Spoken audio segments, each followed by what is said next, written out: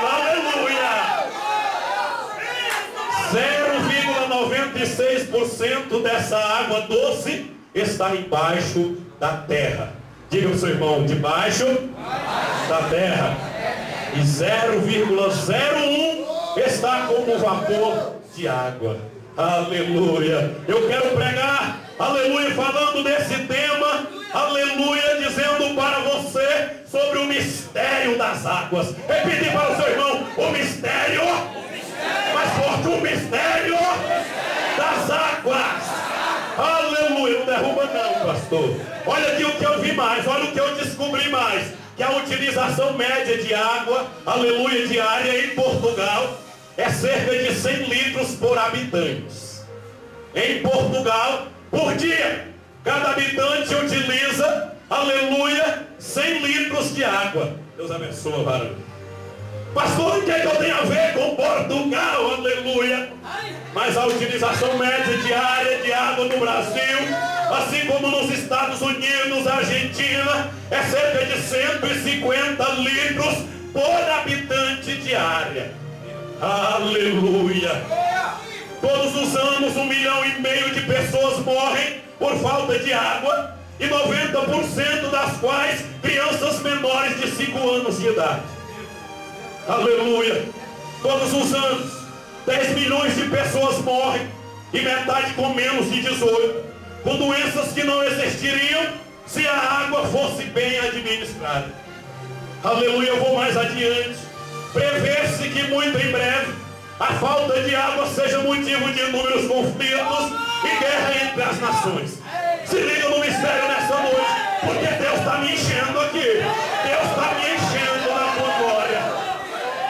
A água é o mais importante dos constituintes dos organismos vivos, pois cerca de 50 a 90% da biomassa, trazendo para a sua linguagem biovida, massa matéria, aleluia, de 50 a 90%, aleluia, da biomassa é constituída por água. O corpo do ser humano é constituído de 78% de água. Aleluia! E vou mais adiante. De acordo com a ONU, as organizações das Nações Unidas, no último meio século, a disponibilidade de água por ser humano diminuiu 60%, enquanto que a população aumentou 50%. Deus está falando nesta noite. Se fôssemos dividir a água do planeta, só mais um pouquinho, só o microfone, incluindo a congelada, salgada e potável, daria sete piscinas olímpicas para cada pessoa na Terra por toda a vida. Mas se dividirmos só a água potável, só a água apta para ser consumida, daria somente dois litros para cada habitante do planeta por toda a vida. E para encerrar, aleluia, a minha pesquisa, eu quero te dizer que a água, ela é considerada como purificadora na maioria das religiões. Está chegando onde eu quero, está chegando onde eu quero. Incluindo o hinduísmo, cristianismo, judaísmo, islamismo, shintoísmo e wicca.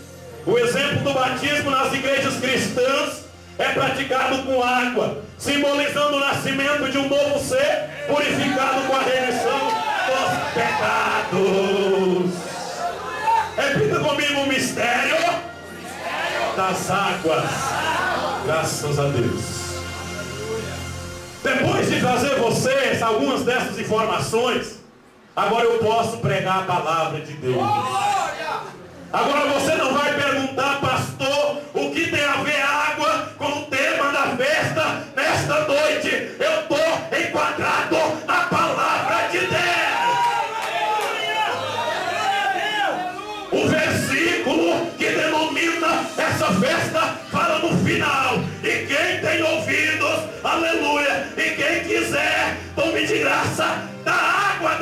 Vida. Aleluia. E agora vamos caminhar pela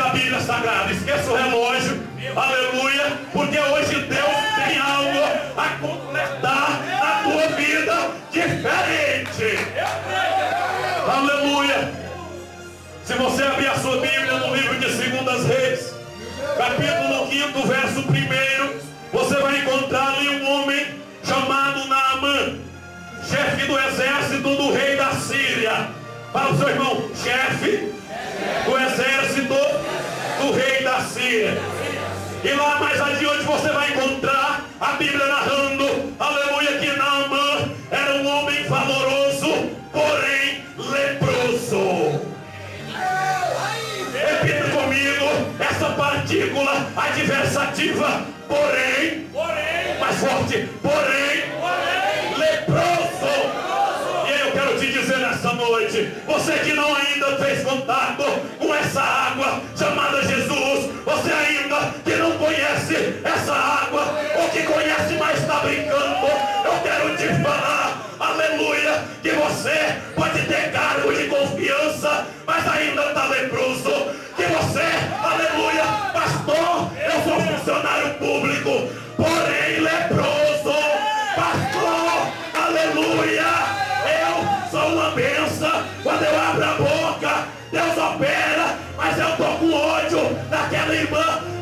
ainda leproso. Homem valoroso, porém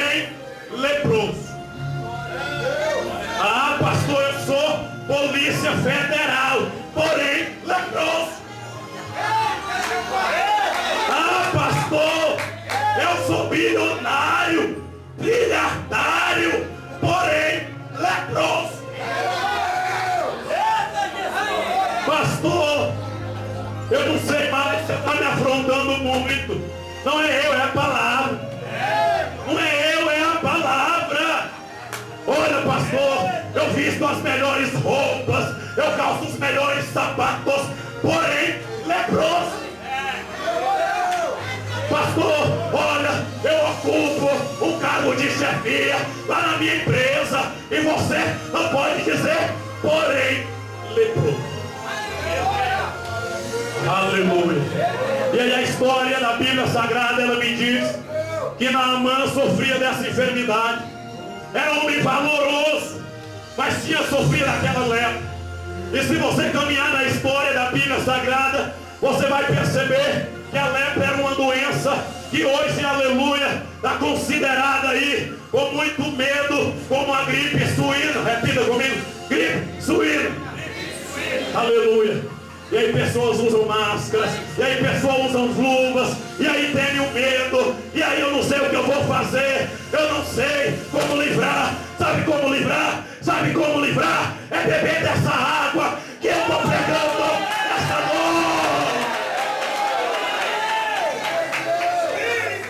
É beber dessa água. Essa água que cura lepra. Essa água que cura peste.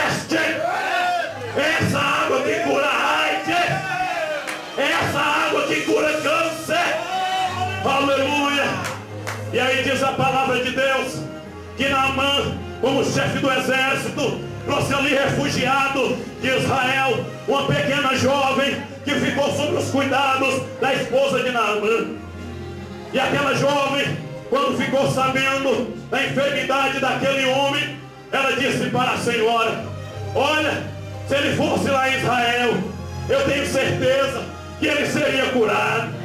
Porque o Deus de Israel é um Deus que oferece água, é água que cura, é água que liberta, é água que unge, é água que transforma, é água que muda o quadro e a história de qualquer ser humano. Aleluia.